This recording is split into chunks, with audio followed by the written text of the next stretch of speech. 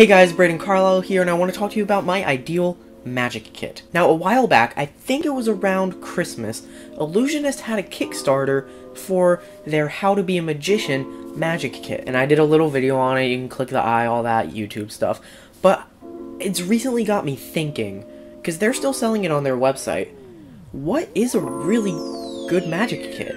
Now, I've already given my opinion on the How to Be a Magician magic kit that Ellusionist put out, but here's a quick summary. I think it's overpriced.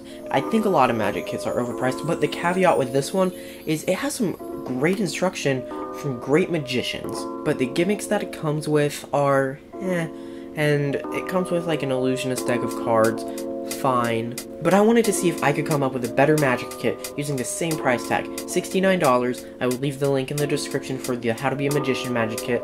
It is $69 on their website, so I'm going to use that same price tag and see if I can create a magic kit that in my mind is better. Now it might not be better, but here is what I would put in a magic kit for $69, and I've got it right in this case. Before I start out, I do want to say I will put a link to buy everything in here in the description. Everything's coming from Penguin Magic. It's no reason. It's just everything's right there, and I wanted one source. I don't want to have to jump around to different websites to find things for 25 cents cheaper. So I just stuck with Penguin Magic because I knew what I wanted to put in this kit. The first thing I have is two regular red Dexys playing cards, 375 each on Penguin Magic. You can buy them in bulk for cheaper, but Two sets of cards seems good, and that's what was in the budget. Next up, I have a red gimmicked invisible deck of cards, $5.62. There's not really much to say about the invisible deck. If you know what it is, you know it's awesome. It's an effect that the spectator thinks of a card, any card in the deck, and it's faced the other way. There's so many things you can do with it. I think it's a great introduction to the world of gimmicks. Next up, I'm going to put in a pack of loops for $9.95. I know they're not the greatest thing ever, and they tend to break. It's probably a waste of $10, but I know loops when I was first starting out learning magic, loops just got me excited. They were so cool. You could do the haunted deck, you could make things float. I just know that I loved them, and everybody that I showed them to was like, How did you do that? After I showed them a card trick, and then I showed them something with loops. I just think I think it's worth that $10 for that amazing feeling starting out. The next thing in the Braden Carlisle Magic Kit is, well, I don't actually have it to show you. I own it as a digital download, but it's actually Sponge by Jay Noblezada. It's 1995, and it does come with four sponge balls, so my Magic Kit would also come with those same four sponge balls.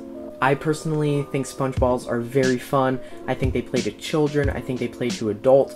They can be good tricks for anybody, and Jay Noblezada is an amazing teacher. Also, if you haven't seen his penguin lecture about mentalism, get it. If you don't have the SpongeBall thing and you love SpongeBalls, but you haven't used them before, get it. I mean, it is a bunch of the basics, but it's really good.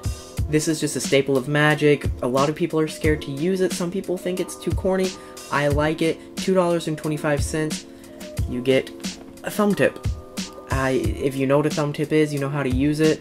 Great. If not, it comes with a little instruction sheet on some tricks you can do, and you can learn so many things just by just playing around with it and applying the same properties to just different objects. It's something that I think every magician should have, regardless of skill level. I think everyone should read and have Expert at the Card Table, $7.46 for the cheapest edition. it can get into the hundreds. For more expensive editions, mine would come with the $7.46 edition. And the last thing I would put in my Magic kit is this book. This is the first book I ever owned in Magic. It is Mark Wilson's Complete Course in Magic, and look how thick it is. $16.46. It's got a little bit of everything. It's got coin tricks, money tricks, card tricks, big illusions, little things, sponge balls, thumb tip stuff, self-working card tricks, sleight of hand card tricks, rope magic, cups and balls, flourishes, silk magic, mental magic, billiard ball magic, make at home magic.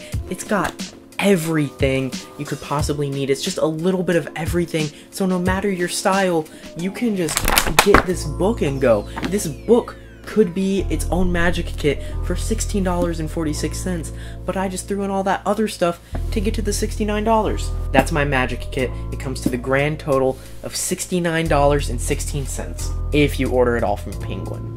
But if you do order it all from Penguin, you get the Penguin Magic uh, magazine for whatever month you order all that stuff in. Anything over $50 from them, you get the magazine, and I've gotten the magazine a lot. I don't know how my kit would compare to the Ellusionist kit. I think my kit's better.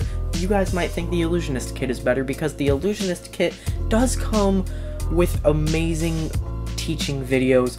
Mine only comes with one video, and that's about SpongeBalls from Jay Noblezada. But I do have the two books, and I've got the two cards, I've got the invisible deck, I've got the loops. I, I just told you everything I have, the thumb tip, I'm not gonna repeat everything that's in there again, though I think I just did. But mine, you know what mine has, you know what the Ellusionist one has. Let me know in the comments which one you think is better. Do you like my magic kit? Did I put something in there that I shouldn't have? Did I leave something out? Please let me know.